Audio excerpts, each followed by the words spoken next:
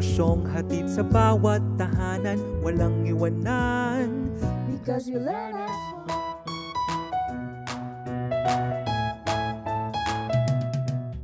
Hello mga bata! Maganda ba ang gising nyo ngayong araw? Ako muli ito, si Ate Hana. Kami uli ni Kuya Sami ang gagabay sa inyo at sasabay sa inyong matuto dito sa We Learn as One, ang radyo kong paaralan. Teka, nasaan nga ba si Kuya Sami? Nakita nyo ba siya? Kaya mo yan, Superman! Matatalo mo sila! Huy! Kuya Sami! Nandyan ka lang pala. Ano naman yung pinapanood mo? Hello, Ate Hana! Pasensya ka na, hindi kita napansin. Paborito ko talaga itong mga palabas ni Superman. Idolo ko kasi siya dahil marami siyang tinutulungang tao. Ikaw ba, Ate Hana?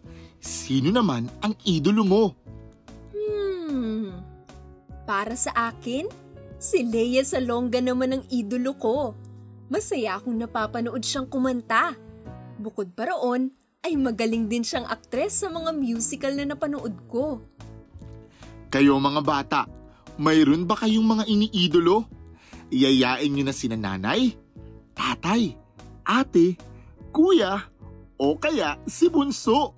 At ikwento nyo sa kanila ang inyong iniidolo.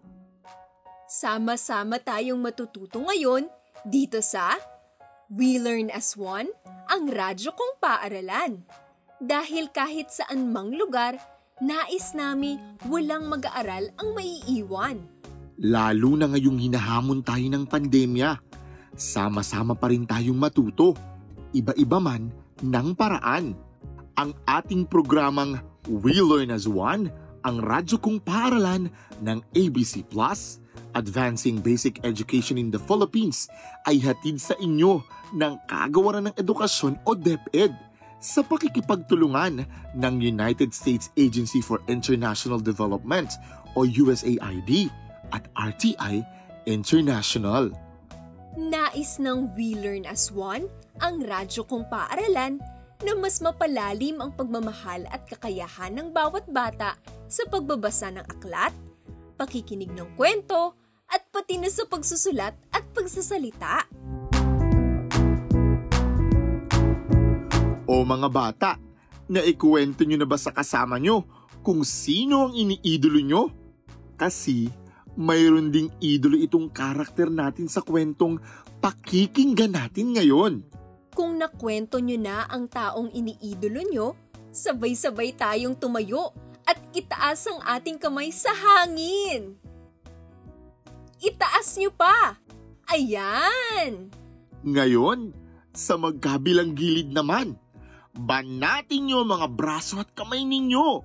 Pagbilang ko ng tatlo, ay sabay-sabay naman tayong tatalon ha? Handa na ba kayo? Isa? Dalawa? Tatlo! Ayos! Kunin nyo na ang inyong babasahin para sa araw na to. Para naman sa mga walang kopya ng ating babasahin, huwag kayong mag-alala. Sama-sama pa rin tayong makikinig sa istorya. Kunin nyo naman ang inyong lapis at papel dahil dyan natin isusulat ang maiikling gawain natin mamaya. Mayroon kayong labin limang segundo para kunin ang inyong babasahin, lapis at papel. Kunin nyo na para makilala nyo na ang karakter natin sa storya.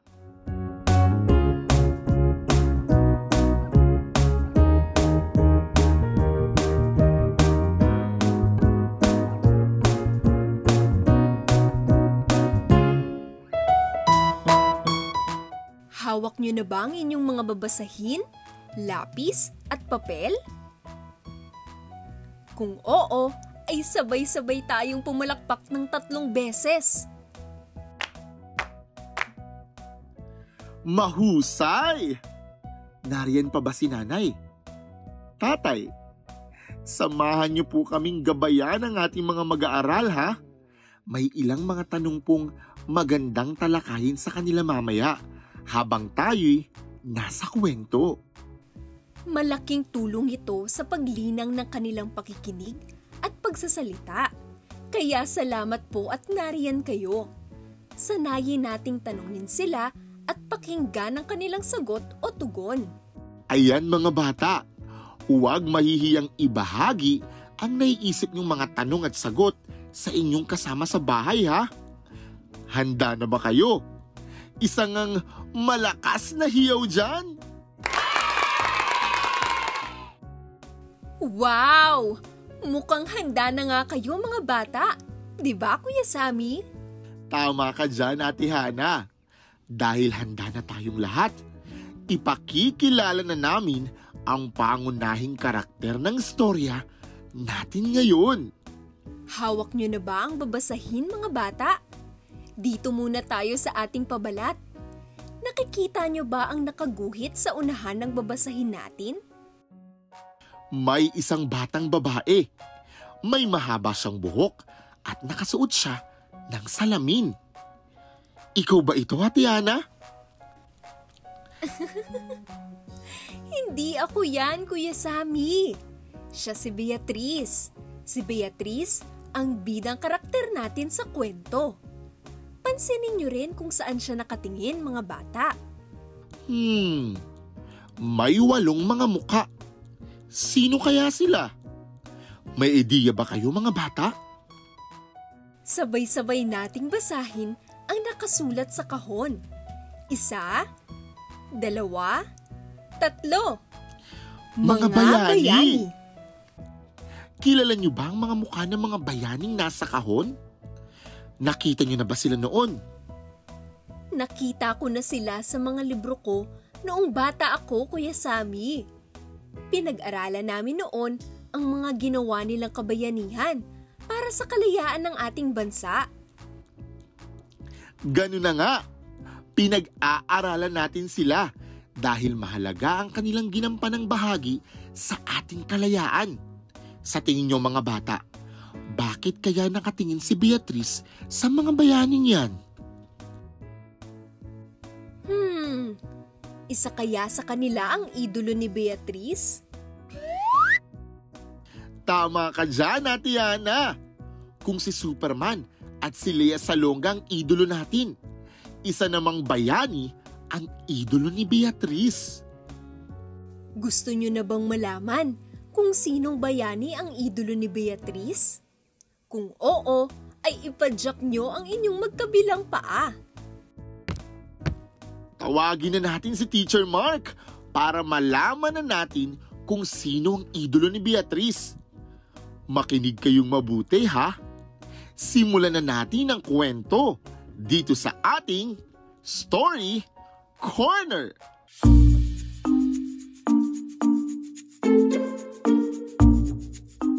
Magandang araw mga bata. Kilala niyo pa ba ang boses ko? Ako pa rin ito, si Teacher Mark. May baon uli akong kwento na siguradong matutuwa kayo't matututo. Ang kwento natin ngayon ay pinamagatang Ang Idolo ni Beatrice. Ang sumulat ng kwentong ito ay si Shera May Paraan. Guhit naman ni Rhea Diwata Mendoza ang mga makikita niyong larawan sa bawat pahina ng babasahin. Pakinggan niyong mabuti ang tunog ng pagbuklat ng pahina ha. Kapag narinig niyo na ang tunog na yan, ay sabay-sabay nating bubuklatin ang ating babasahin sa susunod na pahina. Malinaw ba mga bata? Tara na at alamin kung sino ang idolo ni Beatrice. Ang idolo ni Beatriz. Unang bahagi.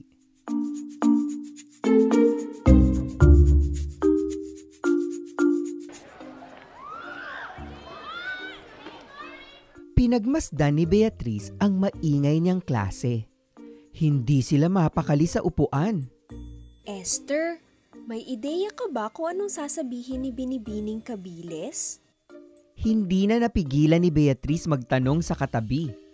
Noong nakaraang linggo, sinabi ng kanilang guro na may mahalaga itong anunsyo. Sasagot na sana si Esther nang biglang tumahimik ang lahat. Nakatingin kay Binibining Kabiles ang buong klase. Mga bata, magkakaroon tayo ng botohan ng class officers. May mga tungkulin ang bawat class officer. Nakalagay ang detalye dito sa poster na ididikit ko sa pisara. Napangiti si Beatrice sa narinig. Ipinanganak si Apolinario Mabini noong Hulyo 22, 1864. Pangalawa siya sa walong magkakapatid. Ang tatay niyang si Inocencio Mabini ay isang magsasaka. Ang nanay niyang si Junicia Maranan ay nagtitinda sa pamilihan ng tanawan. Diyan nakatira ang lolo at lola mo. Talaga po, Mama? Nanlaki ang mata ni Beatrice sa gulat. Noong huli silang bumisita sa kanyang lolo at lola, nakalalakad pa ang mama niya. Nang mabundol ito ng sasakyan, hindi na siya makalakad at nanatili na lang sa kama. Bata, nakakuha si Apolinario ng scholarship sa Colegio de San Juan de Letran. Itinuloy niya ang pag-aaral ng abogasya sa University of Santo Tomas. Para makabayad ng kanyang tuition, alam niyo bang nagturo din si Apolinario sa mga bata? Mapanghikayat na tanong ni Binibining Kabiles. Wow! Tumaas ang balahibo ni Beatrice sa narinig. Mayroon siyang dagdag na ikukwento sa kanyang mama. Sa gabi, palaging nag-uusap si Beatrice at ang kanyang mama.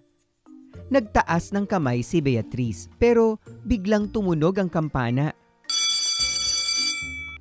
Hudyat na ng uwian nila. Pero alam mo bang pagpapare ang talagang gusto ng mama ni Apolinario para sa kanya? Sabi ng iba, gusto ni Apolinario na maglingkod sa kapwa Pilipino, kaya buga siya ang pinili niya. Natigilan ng nanay ni Beatrice sa pagkukwento. Bigla itong inubo. Grabe pala, Mama. Di mapigilan ni Beatrice ang paghanga. Pero, paano kaya siya naging utak ng himagsikan? Utak? Ibig sabihin, ang dami niyang naiisip. Naging class officer din kaya siya nung bata? Napangiti si Beatrice sa iniisip. Interesado kaya si Beatrice sa pagtakbo bilang class officer? Lubos na namangha si Beatrice sa kwento ni Apolinario Mabini. Siya na kaya ang idolo ni Beatrice?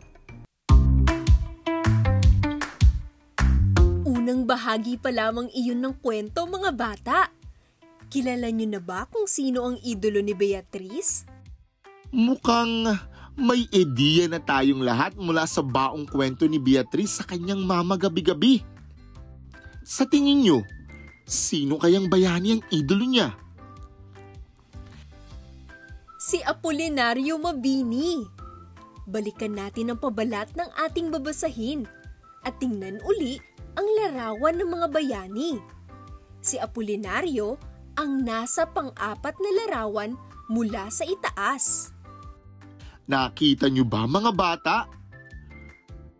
Pamilyar ba ang kanyang muka? Ngayong kilala na natin ang idolo ni Beatrice. Dumako naman tayo sa isang maikling gawain. Hawak niyo pa ba ang mga lapis at papel niyo? Magsusulat tayo ng mga salitang may kambal, katinig. Pamilyar ba kayo sa mga salitang may kambal, katinig? Ang mga salitang may kambal katinig o cluster ay mga salitang may magkasamang katinig sa isang pantig. Ano naman ang mga katinig, Ate Yana? Ang katinig ay ang mga letra sa alpabeto bukod sa A, E, I, O U. Ilang halimbawa ng katinig ay ang mga letrang ba, ka, at da. Tama si Ate Hana. Mahasa ang pakikinig nyo sa laro natin mga bata. Magbabanggit kami ni Ate Hana ng mga salita mula sa kwento at huhulaan nyo naman kung halimbawa ba ito ng salitang may kambal katinig. May mabibigay ka bang halimbawa ng salitang may kambal katinig, Ate Hana? Hmm, blusa? Blusa ang suot ni Beatrice. May kambal katinig ba ang salitang blusa, Kuya Sami? Tamang halimbawa yan, Ate Yana. Blusa. Ang dalawang katinig na magkasama sa isang pantig ay ang letrang B, Ba at L, La. Magkasama ang B, Ba at L, La sa pagbigkas ng salitang blusa. Mas naintindihan niyo bang maigi ang salitang may kambal katinig, mga bata? Tara, at sabay-sabay tayong tumayo para sa ating maikling laro. Anong gagawin natin, Kuya Sami? Simple lang ang ating laro. Kung ang salitang nabanggit namin ay halimbawa ng salitang kambal katinig, papalakpak tayo ng dalawang beses. Mahusay! Kung hindi naman halimbawa ng salitang may kambal katinig, ang nabanggit namin ay pumadyak ng isang beses. Naintindihan niyo ba ang panuto ng ating laro? Kung oo, ay sumigaw kayo ng Hooray! Magsimula na tayo! Ang unang salita ay klase. Sabay-sabay nating banggitin. Ang salita ay klase. May kambal katinig ba ang salitang klase? Sabay-sabay nating hulaan. Isa, dalawa, tatlo. Pumalakpak din ba kayo ng dalawang beses? Ang salitang klase ay mayroong kambal katinig. Magaling!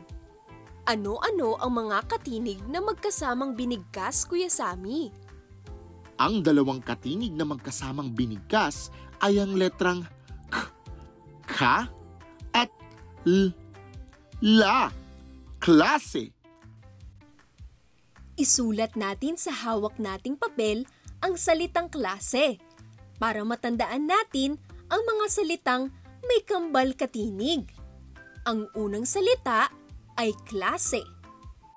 Handa na kayo sa pangalawang salita mga bata?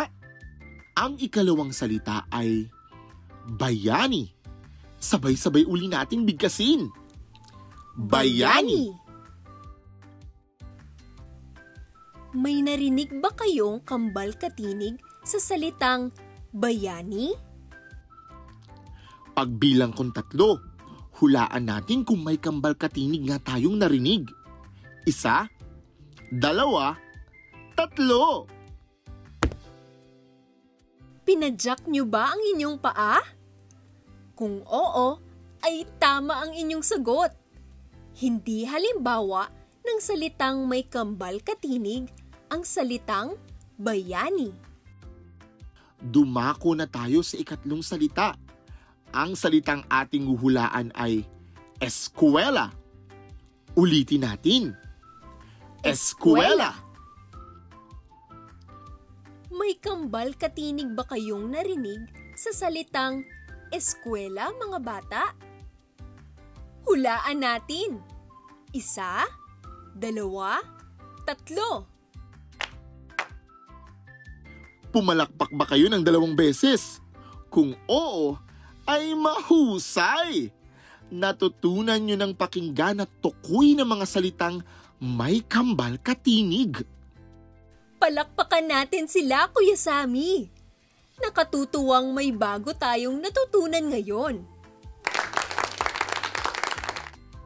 Kaya nga, Ate Hana eh. Nakatutuwang makita kayong matuto mga bata. O siya, bumalik na tayo sa ating mga upuan at sabay-sabay nating ituloy ang kwentong ang idolo ni Beatrice. Hawak niyo na ba uli ang babasahin? Sabay-sabay nating ilipat sa ika-anim na pahina. Teacher Mark? Ituloy na natin ang kwento mga bata. Ikalawang bahagi.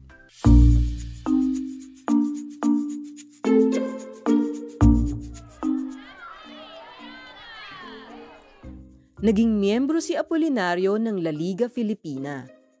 Nagsulong ang La Liga Filipina ng mga batas at patakaran para sa ikabubuti ng bayan.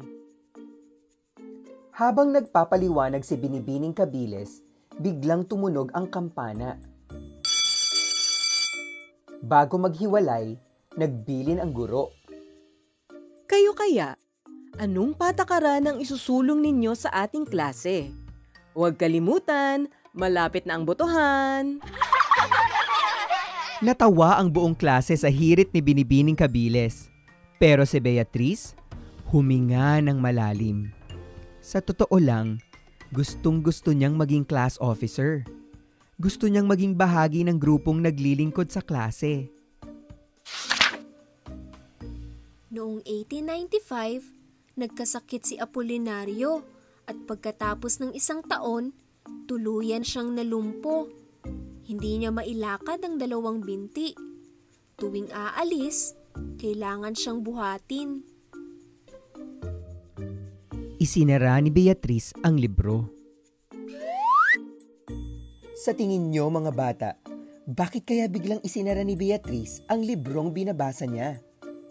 Sabay-sabay nating alamin. Bakit mo itinigil?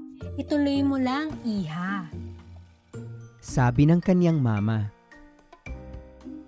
Napabuntong hininga si Beatrice. Naisip niya si Apolinario. Hindi ito tumigil sa paglilingkod sa bayan kahit pa nagkasakit. Napatingin din siya sa nanay na nakahiga sa kama. Kahit hindi na makalakad, nananatiling masayahin at puno ng pag-asa. Noong itinatag ang pamahalaang revolusyonaryo, ipinatawag ni Emilio Aguinaldo si Apolinario. Si Emilio ang presidente noon at si Apolinario ang ginawa niyang tagapayo. Isa sa mga naisulat ni Apolinario ang unang konstitusyon ng bansa. Naglalaman ito ng mga karapatan at obligasyon ng bawat Pilipino. Ito ang paliwanag ni Binibining Kabile sa buong klase. Biglang tumunog ang kampana. Tingnan natin kung anong patakaran ang maiisip ng magiging class officers. Napalunok si Beatrice. Hindi niya sigurado kung itutuloy niya ang pagtakbo. Hala, paano kung di siya manalo? Mga bata, ano sa tingin niyong susunod na mangyayari? Matutuloy kayang tumakbo si Beatrice bilang class officer? Subaybayan nating maigi. Matalo ka man, hayaan mo na anak. Tingnan mo nga si Apolinario. Kahit nagkasakit, ginawa pa rin niya ang gusto. Yakap ang kinakabahang si Beatrice ng kanyang mama. Inilibot ni Beatrice ang mata sa mga dibuhong nakasabit sa kwarto. Pintor ang kanyang mama. Kahit di makalakad, ang dami pa rin itong nagagawa. Nandoon sa isang sulok ang larawan ni Apolinario Mabini. Matalas na nakatitig sa kanya. Tumaas ang balahibo ni Beatrice. Bigla siyang napangiti.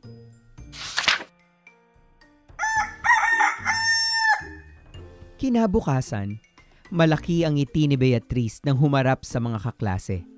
Sa halip na kabahan, inisip niya ang homework na gagawin. Tungkol ito sa reaction paper niya kay Apolinario Mabini. Alin kaya ang pagtutuunan niya ng pansin? Iyong katapangan ba? O katalinuhan mula pagkabata? Maya-maya pa, Sa wakas, dumating na ang pinakahihintay ng buong klase. Abot tenga ang ngiti ni Binibining Kabiles bago mag-anunsyo. Okay mga bata, nabilang ko na ang inyong boto. Heto na ang class officers para sa taong ito. Dito natatapos ang kwentong Ang Idolo ni Beatrice. Nabitin ba kayo mga bata? Hindi pa natin malalaman kung sino ang bubuo sa class officers ng klase ni Beatrice. Huwag kayong mag-alala. Tiyak na malalaman natin yan sa susunod na kwentong pagsasaluhan natin. Babalik tayong lahat para sa karugtong ng kwento ni Beatrice ha. Salamat sa pakikinig mga bata. Hanggang sa susunod na kwentuhan. Muli, ako si Teacher Mark. Maraming salamat din, Teacher Mark, sa walang sawang pagbabahagi sa amin ng kwentong kapupulutan ng aral. Sabay-sabay nating alamin ang mangyayari kay Beatrice sa susunod nating Story Corner, ha?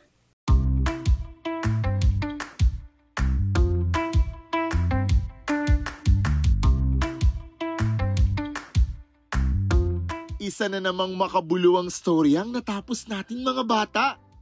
Palakpakan nyo inyong mga sarili. Bago tayo maghiwa-hiwalay sa dulo ng ating programa, bibigyan muna namin kayo ng isang takdang aralin. Hawak niyo pa ba ang lapis at papel niyo mga bata? Isulat nyo ang panuto ng ating takdang aralin sa papel ninyo. Mga magulang, gabayan natin ang ating mga mag-aaral at tulungan sila sa pagsagot nito. Ayos po ba? Salamat po sa pagsuporta sa pag-aaral ng mga bata. Alam kong naniniwala rin kayong sila ang pag-asa ng ating bayan. Para sa ating takdang aralin, pagaganahin muli natin ang ating pagkamalikhain. Gamit ang lapis at krayola, iguhit nyo sa inyong papel ang inyong idolo. Kahit mapasino man yan, tao, karakter sa palabas, artista, o isang lingkod bayan. May naiisip na ba kayo? Pagkatapos niyong iguhit ang inyong idolo, ay isusulat nyo sa isang pangungusap ang salitang maihahambing nyo sa kanila. Anong hinahangaan ninyo sa inyong idolo? Matapang ba siya? Masipag? O kaya na may matalino? Isulat nyo yan sa ilalim ng inyong ginuhit na larawan ha. Tandaan, gumamit ng isang buong pangungusap. Bigyan mo nga kami ng halimbawa, Tihana. Hmm. Si Lea Salonga ay isang mahusay na mang-aawit. Tumpak! Salamat sa pagbibigay ng halimbawa, Tihana. Walang anuman, Kuya Sami. Naisulat nyo na ba ang ating takdang aralin, mga bata? Tatlong beses na ipadyak ang kanang paa kung naisulat nyo na. Isa, dalawa, tatlo. Mahusay! Huwag niyong kalimutang mag-enjoy sa pagguhit at pagkulay ng inyong mga idolo ah. Mas lalong gaganda ang kalalabasan ng inyong takdang aralin kung masaya niyo itong gagawin. Tama ka dyan, Kuya Sami. Huwag niyong kalimutang humingi ng tulong mula sa nakatatanda, ha? Paalala rin po sa mga magulang na ating mga tagapakinig na gabayan ng mga bata sa pagtapos nila ng takdang aralin na ito. Ipaalala natin sa kanilang walang tama o mali sa pagiging malikhain. Salamat pong muli sa walang sawa ninyong paggabay sa ating mga mag-aaral.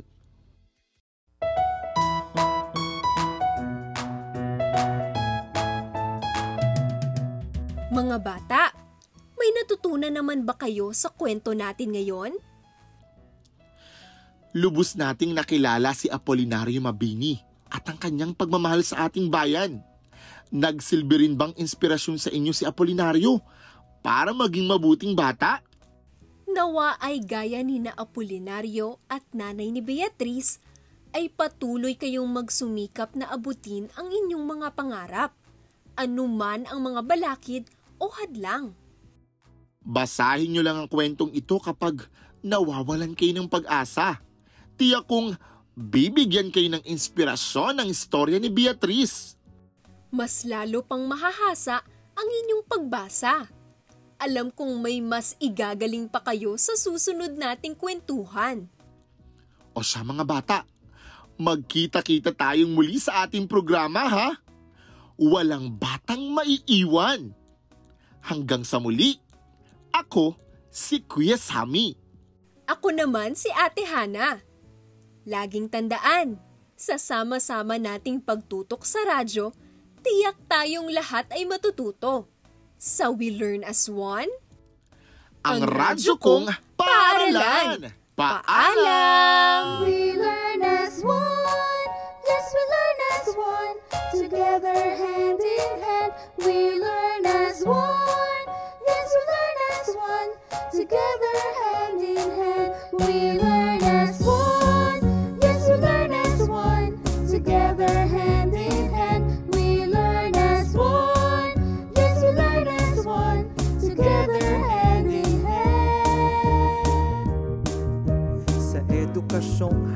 Bawat tahanan Walang iwanan Because we learn as one. Ang programang ito ng ABC Plus, Advancing Basic Education in the Philippines, ay hatid sa inyo ng Kagawaran ng Edukasyon o DepEd sa pakikipagtulungan ng United States Agency for International Development o USAID at RTI International.